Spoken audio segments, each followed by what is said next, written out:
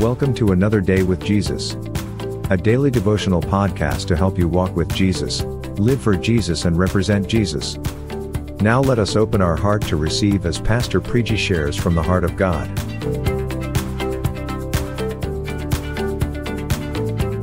Greetings in Jesus' precious name. Welcome to this amazing new morning that the Lord has given us. Let's go into God's Word and try to understand what is God instructing us for the day ahead. The Bible says in the book of Proverbs, chapter 10 and verse 11, the words of the godly are a life-giving fountain. The words of the wicked, they conceal violent intentions. So, there is a contrast being made between the words that the godly speak and the words that the wicked speak. So let me begin with this question What is your identity? Do you identify yourself as a child of God? Or do you identify yourself as a wicked person? Do you believe that you've become the righteousness of God? Do you believe that you have been made new? Do you believe that the Spirit of God now lives inside of you? Do you believe that you are now a branch of the vine, the vine being Jesus Christ, and you being a branch and overflow, a person that is coming out of the vine that is Jesus Himself? Do you believe that you are somebody who is called to represent Jesus on this planet Earth, that you are a ambassador of Jesus Christ? If you do believe all of those things about you, it is necessary that you understand what should be the fruit of your life. It says the words of the godly are supposed to be a life giving fountain. See, the emphasis here in both those statements is on the words the words that the wicked speak and the words that the godly speak. See, the world is watching and they are listening and they are attentive to every word that comes out of your mouth. And that is why it is necessary that we be very careful, that we spend time meditating on the presence of God, meditating on the Word of God, meditating on the ways and the purposes and the intentions of God before we release a word from our mouth.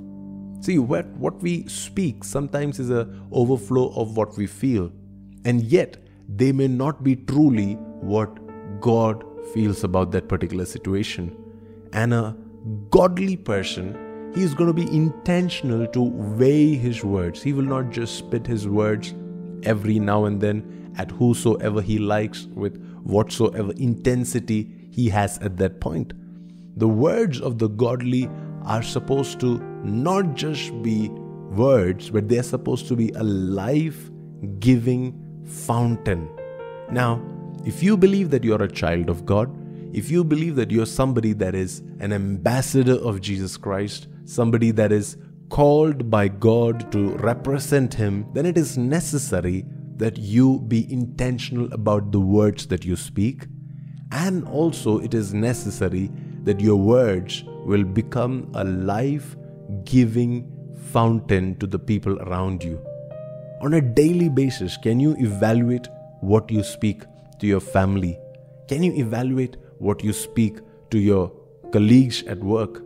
Can you evaluate what you write on social media, on your Facebook, Twitter, Instagram, YouTube posts, the comments that you put on someone else's post? Can you evaluate your words? Are they a life giving fountain? See, sometimes being a person that is influencing and helping people, you may have to use critical words you may have to use words that are going to correct somebody, rebuke somebody. But even in those harsh moments, are you still being a life giving fountain? Or are you hiding violent intentions? That's what it says about the words of the wicked. It says the words of the wicked, they may sound good on the outside, they may look very delicious on the outside, and yet it has a nature of concealing the real violent intentions behind those words. Those words are meant to blindside the other person so that they will just fall for the flattery or they will fall for the goodness of these words and thus they would not be able to see what do you really truly mean by it? That is the primary distinction between the godly and the wicked the words that the godly speak and the words that the wicked speak.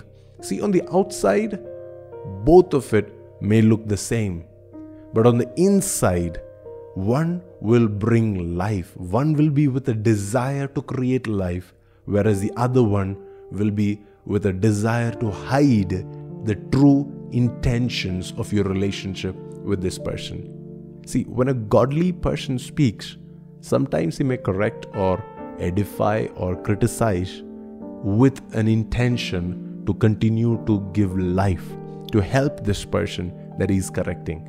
But when a wicked person speaks, even when he is when he is praising somebody or when he is being nice to somebody, he still has wicked intentions. He still has violent intentions. He is still envious about this person or jealous of this person or he's upset with the growth that this person has. Now, if you have been falling in the category of how a wicked person talks, it's necessary that you bring your heart to the Lord and you bring your identity to, to God and you allow the Lord to Transform the way that you speak. Transform the way that you utter things with your mouth. Your mouth, your tongue, it is a very precious, valuable weapon that the Lord has given you. The more careful that you are with the words you speak, with the words that are released from your spirit, the more greater will be your victories, the more greater will be your breakthroughs, the more greater will be the life that will flow out of you. If you are careful, if you are intentional about the words you speak, your victories will be innumerable. God bless you. Thank you so much for tuning in this morning. May this word become your lifestyle. Have a blessed and a beautiful day ahead.